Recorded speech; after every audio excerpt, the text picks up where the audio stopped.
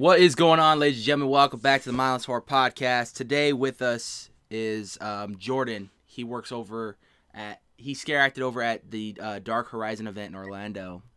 Jordan, how you doing, man? I'm doing great, bud. How are you? Uh, you know what? I'm, I'm getting by. You know, little by little, uh, living like we said, living the dream, man. So just trying to do what I can to, to get around. You know. Absolutely. Same here. Same here here. yeah, yeah, yeah. Uh, what? Uh, so let's get into this, man. I talked to uh, I talked to Berdetta uh, a few weeks ago about this uh, event, and mm-hmm. uh, this is definitely one that I, I, I, it's on my list to check out uh, in the future uh, if they ever return or whatnot. I, I definitely want to check this out. I'm a huge fan of Dark Harbor out here in, in uh, California. And uh, when I found out they were doing Dark Horizon yes. over in Orlando, I thought that was a, a fantastic idea. What did you think about it for its first time? Uh, you know, opening up in Orlando, and and and how much fun did you have doing this event, man? Yeah, when I it's funny story because I was working other horror events out here at the time, and and um, with them in the past, that events back home in California, where I'm originally from. Right. And they said, "Hey, we're trying to bring a West Coast style hunt out to Orlando." And um, they're like, "You know, we remember working with you, and we want to bring sliders to the mix and everything as well." And I'm, they're like, "How would you like to come on and join us?" And I was like, "I heard them. I saw it was with the same ones that did Dark Harbor and all that. It's just like you said. I love that event. It's a great event. So I'm like, all right, let's see what this is like out here."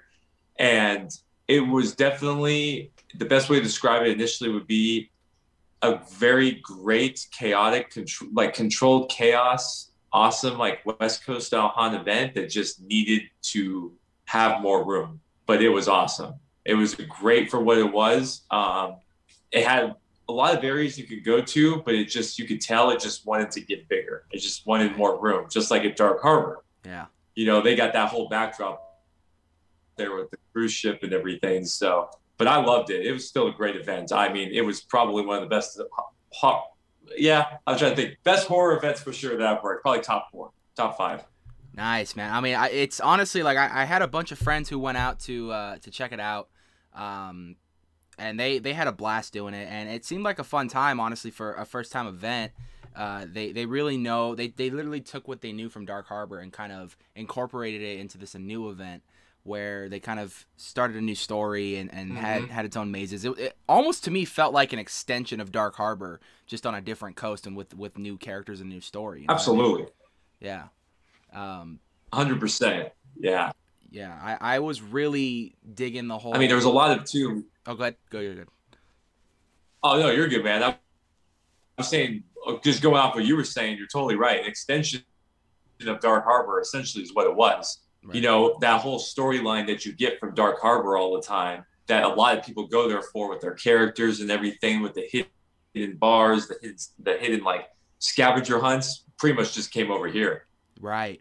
No, and I, I, really, I really dig that. I mean, they, they really incorporated a lot of stuff that they do over here at Dark Harbor with, of course, the uh, you know you you had a sliding team, you had a show, and then they had of course their version of how they do mazes and, and their style of mazes. Uh, and and really what will really put Dark Harbor on the map is the whole history of the boat with the whole original characters and whatnot. And they really incorporated that over there, which I really liked. Oh yeah, yeah, yeah man, definitely, hundred percent. And they, they brought also the story that created Dark Horizon was very fitting for Florida especially with the characters that they were picking, made it even that much better. Right. Yeah. I mean, I, I really, uh, from what I heard from Berdetta, I mean, she had a, a, blast going out there and, and really, and really bringing her uh, kind of a, a, new character, a new twist on, on a, a character she's already played and, and, really have like a name and a story with it. Um, yeah. I, I thought that was really, really cool. And, and to see that kind of become its own thing was really cool. So talk to us about what you did at the event, man. I, I understand you were a, a slider. Uh, what did you do in specific at the event? So um, when they came to me about doing the sliding there at Dark Horizon, um, sliding has not been something in Florida. Yeah. Um, like some haunt events have tried it, um, but the two events specifically I know that have tried it, failed at it. And when I mean failed at it, they had like lawsuits on their hands. Wow. Like kind of things because they didn't take the time to show whoever was doing it and teach people truly, you know, hey, this is awesome what you're doing, but it takes a lot of a certain type of different kind of fitness and body control and multiple other things. Right. So um, when they brought me on and um, another friend of mine who had done it as well at not um, Knott's Scary Farm in California, um, they brought us on. They were like, "You two are going to help Scott and them, who works for Dark uh, Harbor and right. does their event every year, um, teach a whole new group of people how to slide." So we spent like two or three weeks, which is not that long when you think of it, yeah. um, for the event, teaching all these other people to do it. So when we did the event, we were kind of, if you want to call them like street coordinators right. slash scare actors. So we were kind of watching everything, but also still scaring. And then we also tried to encompass our own little show, like Dark Harbor does as well. Right, uh, and and I think that's something that really makes Dark Harbor's event too, and it's cool to see that it went out to Orlando was the Slider show. It's something that really showcases the talents and and really showcases overall what the Slider team can do. Uh, what would you say the oh, big oh, difference was between your guys' show and, and Dark Harbor's show? I think that's the the biggest difference definitely was just starting with basics. Right. You know, you watch Dark Harbor's show over the years, and those guys and girls, and they're doing like they're jumping like lines of people on the ground of their own people, like eight to ten deep. You know, right. with us there was only two of us that knew how to jump already, so we could only do so much of that. So I'd say more so it was just going back to the simple stuff of like, you know, like say you're going through a line of people that's maybe just five people, but then Dark Harbor is doing 10 people. We're right. jumping maybe five people, they're jumping like eight people. Right. And we were doing it, even though we know, me and my buddy knew we could do more, we had to keep it simple so that everyone else could kind of incorporate some of what they were learning to do in as well. But for out here in Florida, most of the people out here are tourists or locals. They had never seen any of this before, really. And if they had, it was on YouTube videos or something. Right. So they were just excited to see something different that the events, even like Howl-O-Scream and Halloween Horror Nights, really don't even do here. Right. Yeah. Because uh, so. and that's something I always bring up too. Is Halloween Horror Nights is more of a kind of a scripted format where they have their essential kind of theming. The, you know their scare zones are, are really themed their mazes are themed so they have their essential kind of storyline they do where you don't see really sliding happening at that now when you go down to like knott's and and, and queen mary and, and dark horizon you know the, the kind of the big name haunts, but still kind of not as massive as Horror Nights. You know, they they really incorporate yep. the sliding and they really incorporate different methods of scaring, which I think for me as a guest is a lot more entertaining and and whatnot because you get to see different people do different things and incorporate their own styles of how they would would take on a scare. What are some of the styles that you like to use uh, other than sliding? Obviously, uh, w- when it came down to scaring at this event, man. Because this event obviously was, uh, like I said, it was the first of its kind over there in Orlando. So a lot of people were probably just kind of shocked to see something new, you know? Yeah. Uh, um, my style that I've always done of scaring, I've always said is this: you have to be um, you have to mix it up. You cannot stick to one thing. And I've always told sliders this too. You are a slider, but sliding is not the only thing you do. If you just keep sliding every five seconds, first off, you're going to kill your body. You're going to be tired as hell by like halfway through the night. And um, and also, it's just it's boring to be honest with you. Like, I mean, it's as much as we all love it, it's you know if that's all you're doing and you're not incorporating other things into it, it's got it's not gonna it's gonna be boring to them. It's also gonna be boring to you. And the whole thing is for you to be hyped the whole time. And for me, what I've always had is you you incorporate what character you are. Also, like I was supposed to be like a zombie pirate. Right. So you want to incorporate some of that type of aspect, of what your character is, the zombie part of it, while being a pirate, kind of right. into your scaring in a way. And then my thing's always been, I said, quick movements, quick scares, quick attack type scares, this that because if the faster you are with your motion, whether it's sliding or even just moving your hand or if you have a shaky cam, whatever it is, it will throw the person off. Right. Because speed is something that people are never ready for. And we all know that people love to drink at these events. so when you're drinking, anything that's fast is going to be 10 times faster than them. so, yeah. uh, so that's always what I've incorporated. Do some sliding, get up, get into character a little bit, and then boom, go into kind of a quick scare. And then get into character, you know, you're and then boom, do a quick slide. You know, for me, it's always speed. Everything I do is a lot of just speed, small motions, but fast. Yeah. You, you mentioned uh you know Scott Dieterman earlier, uh, a good friend of ours on the channel too, um, and uh, yes, actually part of the reason why uh, this interview is happening because he uh, helped set this one up. So shout out to Scott, thank you. Um, yes, absolutely. Uh, but you know, you, you, mentioned obviously you had a two to three week uh, a period of just training to get these guys ready. Um, and I remember talking to Scott a little bit about this, where you know it was kind of just two to three weeks, set them up, show them what they're doing, and then I was out of there. Um, after the two to three week training, did you feel everyone was prepared, or you think an extra week would have helped to like fully prepare everyone? Like I, I don't know how everyone did. I you know I wasn't there, but uh, Scott was telling me that there was a lot of great people that that that succeeded after the training and whatnot, and, and went on to, to to to bring the show to life. Do you think an extra week would have helped, or do you think that two to three weeks was it, it worked? It helped out a lot. I think an extra week would have helped make people more comfortable in doing things that were more suited to their type of style and in their body type too, and how they slide. Right. You know, I think the the time we had was great to get the basics and then to get the safety part down, right. so that at least like, hey, what you've been taught, you can go out there and and do sliding. Right. Now to mix it up to make it fit more you, to maybe kind of see, hey, you're better at being, you know, your slides are great when you're going a little bit further distance. You're a more quick person, and this that. That could have been more incorporated probably in that last week if we could have had it, just to make it more personalized to each person. What what are they really good at, and what are they maybe not so good at? That probably would have been the best. But other than that, everybody was like Scott said, everybody picked it up pretty quickly, which was pretty impressive for right. considering what they're being asked to do. Right. Uh, now you're fasting for you're fast forwarding to uh, opening day, man. I mean, you know, chills are running down. Brand new mm. event. You guys are opening up this event together, and you don't know what the reaction is going to be like. Um, talk to me what it was like uh, yep. approaching that first day, man. So yeah, that first night there was obviously, as there always is in Orlando now, a ton of you know media and the local like you got Attractions Magazine, you have all these different like uh, media outsources, even local news stations that it's something big, it's something new, right. and um, they obviously were hyping up the fact that it was coming from you know L.A. area. It wasn't just some random haunt. It has a haunt connection to a, a big one on the West Coast, and um, yeah, we were getting everybody together. Um, I was I was just excited to slide again. It had been a little bit since I had done it, so um, it was fun to do that initially at an event again. And um, the reaction when they uh, opened, they did that opening ceremony just like they do at Dark Harbor. Right. They kind of open the gates and all the monsters kind of rush out of the fog.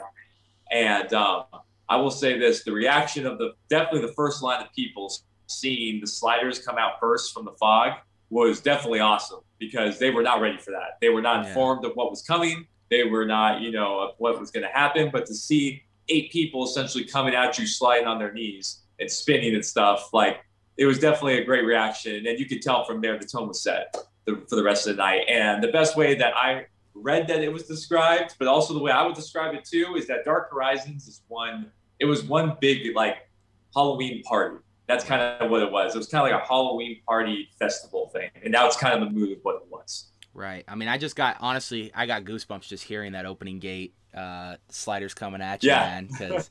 it's been it's been too long since I've seen anything oh, like that. Oh, absolutely, nothing you know? like that, right? Yeah, nothing like that at absolutely. all, man. Um, you know, uh, so obviously, you know, you get started. What are before you get started every night though? What are some of the things you like to uh, you like to do to prepare yourself mentally? Are you a guy who blasts music? Do you sit in silence? Do you just well, how do you prepare yourself mentally for that? Um, for me, it's when I when I'm driving to an event or driving like in this case when I was driving the Dark Horizons, it's always yeah I'm playing music. Um, my go-to's for me are uh, Linkin Park and 30 Seconds to Mars. Nice. they both get me hyped up, uh, so I get those going. Um, and then when I get to the event though, I'm kind of um, I gotta do a lot of prep work. You know, taping my ankles up, getting my shoes ready to go.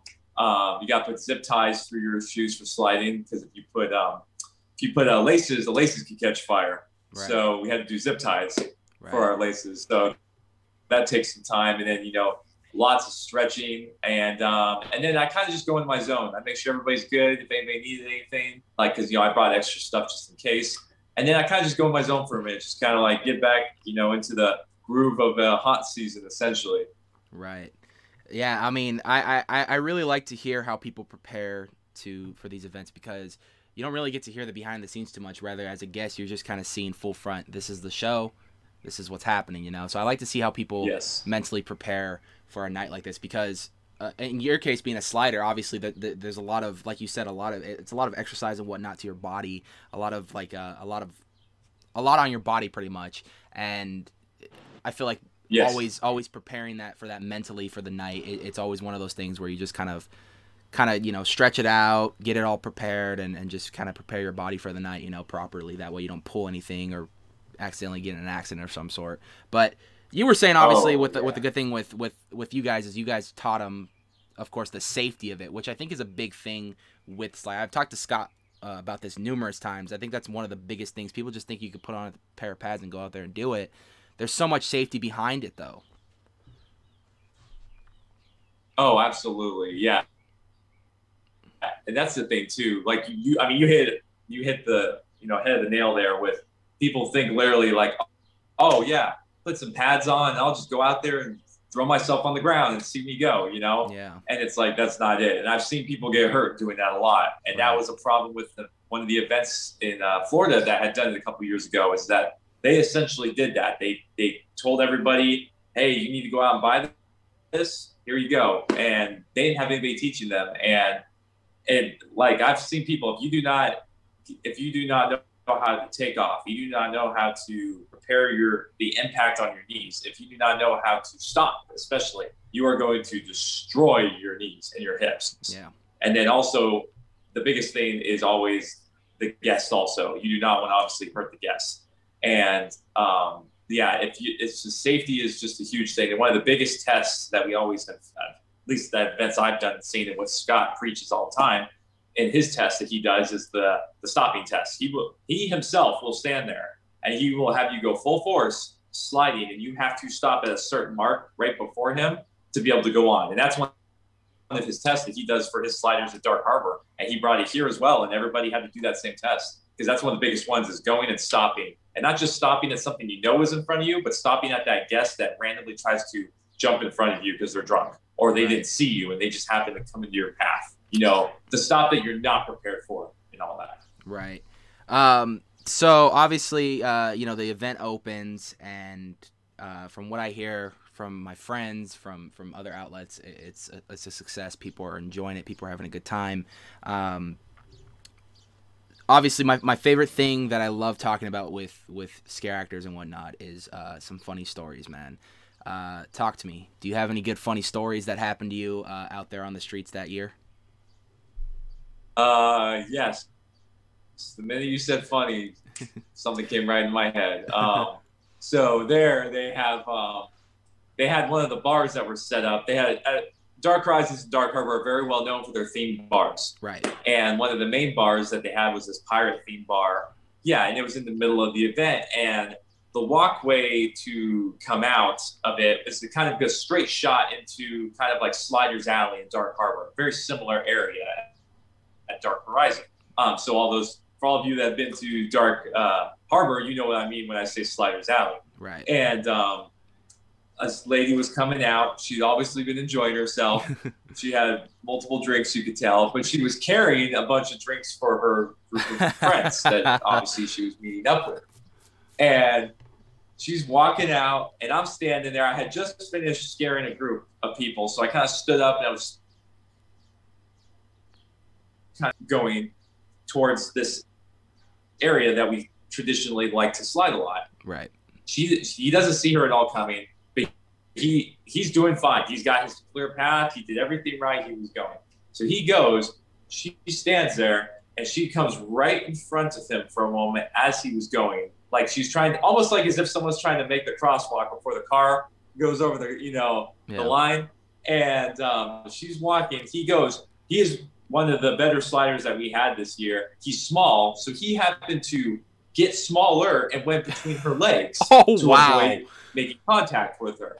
She looks down and literally tosses the drinks everywhere. And as she tosses them, she naturally just falls on her ass. So, sorry, or but you know, if I can say that, but falls on her, falls backward, and the drinks literally just like a cartoon land on top of her, just like a cartoon would, like those typical, absolutely perfect. And it was great because he didn't touch her at all. He he made it right between her legs, but I don't think she expected to see a slider literally go between her legs as she was trying to walk. It was truly impressive, actually. I don't think I honestly, in the history of doing this show, I don't even think I've ever heard a story of someone sliding under someone's legs like that. Oh, like, oh, I've never seen it before until then. I, I'm yeah. so impressed by that, blown away that yeah. he, he actually had you know he had the space and he had the and uh, obviously being as small as he is, he actually made the slide on top of that, making the girl oh, drop yeah, all her drinks and everything, dude. That's hilarious. I love that. It was, I mean, and luckily she got up and she was laughing too. I mean, she was intoxicated, so she really did. But luckily, everybody had a good laugh. They bought her her drinks. They they comped them for her, and it was great though. But like I said, I've never seen that before. A a slider be able to get through a guest's legs last second like that. That was impressive. It's just improvising right on the spot, dude. I really that's really cool when when they get creative and, and do things like that. I, I really enjoy seeing oh, stuff absolutely. like that. I mean, it, it, makes the event so much fun. Um, you mentioned you were a zombie pirate, so talk to me about the overall theming of Dark Horizon for its first year. Uh, give me a little bit of details of of sell me this show, man. I want to know more about it.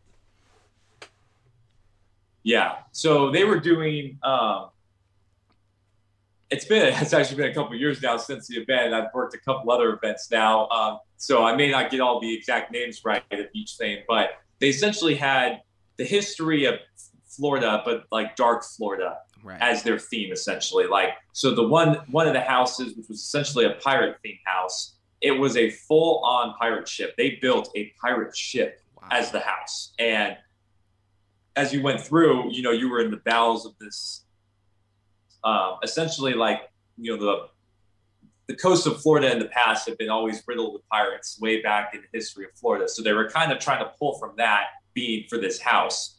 And obviously with pirates, there's stories of ghosts and zombies and dead pirates. So that's kind of a lot of, it was the tales of all these different, you know, you know, for like whatever you want to call them, historical facts or stories and all these things within different settings in this pirate ship. And a cool thing about the pirate ship was there was a hidden bar in the pirate ship that you had no clue about unless you were kind of given the little uh, hint about where it was at. And at the end of the pirate ship, you had to walk the plank essentially, and they had a slide. So to get out of the house, you had to go down an inflatable slide that went off the pirate ship into the water, essentially, cool. where they had like the. It looked like you know, yeah, you didn't see where you were going because of all the fog, so you just went down this pit and you're like, oh, there goes my friend. Yeah. You know what I mean? so that's kind of the theme that I was with. Yeah. I was a dead pirate from that area that had like, you know, disease ridden and all that. And then they had a house more so to like the Everglades and like the back, like bayou kind of woodsy in somewhat still bayou. That's more Louisiana, but Florida has stuff similar to that. But Everglades, swampy areas of Florida with, you know, like the locals that are kind of like a little bit weird, maybe some like you know Texas Chainsaw Leatherface moments, yeah. you know, kind of yeah, people yeah. in there. Um, yeah, and that was that was one of the better ones too because they just built this massive village almost or this town in Florida, uh, the Everglades, in the middle of this event, and um, and they were kind of I believe if I remember a lot of characters, they were kind of like cannibals and stuff, and um, then the other part, the third house was all voodoo very um, North Florida, I think, I believe, had a lot of that to go on to it. So again, everything you get with a voodoo house, it had it. I mean, it had like the, the crazy, you know, dancers and people that were putting like, you know, like knife down their throat, putting fire on their hair, you know, and all this crazy stuff. Yeah. And um, it definitely was the creepier of the houses. So each house kind of had its thing, but like the voodoo was the very much more scary, creepy, and then the Everglades swamp house was kind of more of just the disgusting, like, ah, oh, this is just weird. And then the pirate one was like, it was, it had its scary moments, but it was kind of more of the have a good time house, you know? Right.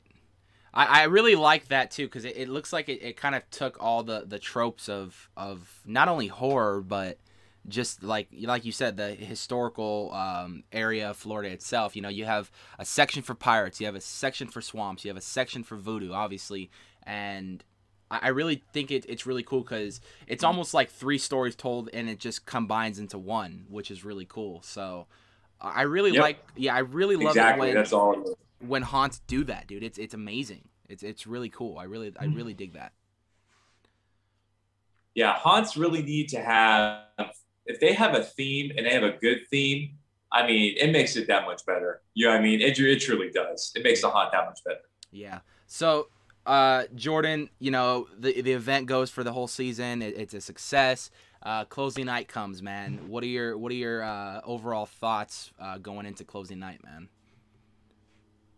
Uh, bittersweet. Uh, um, I was working uh, two uh, horror events that year, so um, it was my uh, final night with Dark Horizons, and yeah, it was it was just like, like to be a part of and thrown into um, was coming to an end. It seemed like it just started and, and now was ending. But and honestly, it was a lot. There's there's a little bit, um, you know, sad in terms of like growing up in California and um, living there for so long and working those haunts and all that, and having that little taste of home here was kind of sad to see it leave and see it be uh, done because I got to see a lot of friends I hadn't seen in a while that worked for Dark Harbor. And just to be an event that had sliders, to be in that event that had like that whole kind of different, more.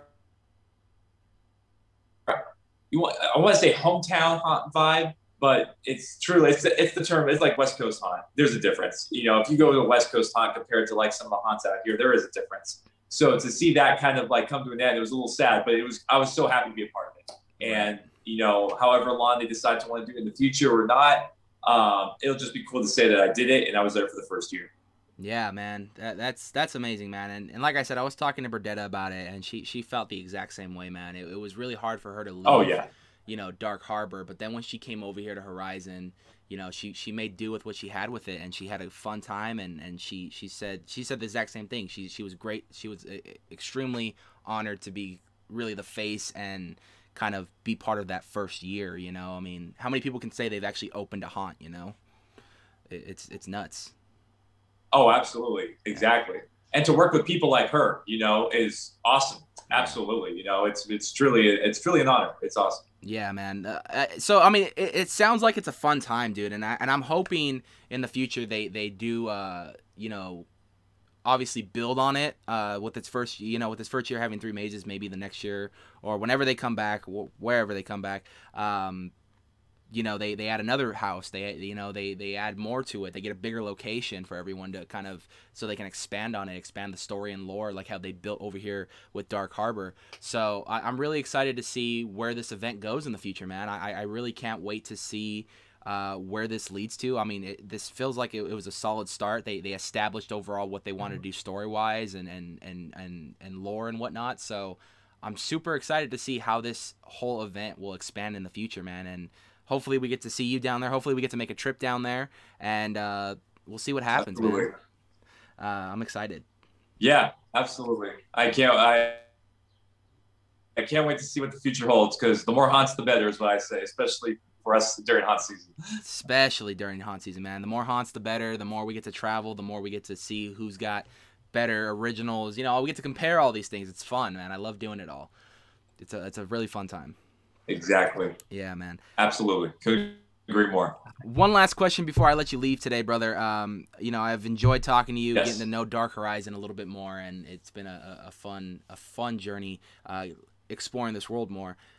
Uh, I ask my guests this question all the time because obviously a lot of people in the horror community are horror fans. So, do you have a favorite horror film? Favorite horror film, man, yeah, that is not easy, but I will definitely say my favorite horror film has got to be the original Psycho. Oh, you know what? definitely the original Psycho. I don't get that answer a lot. That's a good. Yes, point. yes. It's uh, you get it. You, you hear a lot of the same ones, somewhat still, and newer ones, but the original Psycho, for what it is, especially. I mean, I know it's an old film; it's black and white, but if you watch that even now, it's a little weird and creepy. Like, oh yeah, it really is still creepy to this day. It holds true into the test of time. Yeah. Alfred Hitchcock, he had that's truly a masterpiece in the horror industry, I believe. Dude, that that guy was was horror royalty, dude. That guy changed the face and genre of the the whole genre itself. He changed it, man. He he guided it into a new direction. Uh, uh, and so absolutely, I I, I agree. Uh, Psycho is a ph- phenomenal film, man, and I I don't think uh, there will ever be another Alfred Hitchcock ever to live again. Honestly, probably not. Absolutely. Yeah. Yeah, I agree with you. He was definitely a man of his time and uh, lives on today, and his, his work lives on today. Yeah. So. Universal Studios makes it clear that Alfred Hitchcock had a bungalow on the damn lot to this day, man. They don't want people to forget yeah. that.